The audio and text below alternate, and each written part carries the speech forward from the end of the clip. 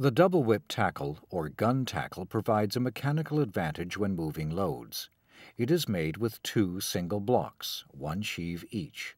One will be at your attachment point, the standing block, while the other is closer to the load, the moving block. To create a double whip tackle, you will need two single blocks, that is, blocks with single sheaves in them. You'll begin by taking your rope from the upper block and tucking it down and through the sheave on your lower block. Then bring the line back up on the opposite side and through the single sheave in the upper block. Pull your line through, and it now becomes your hauling line.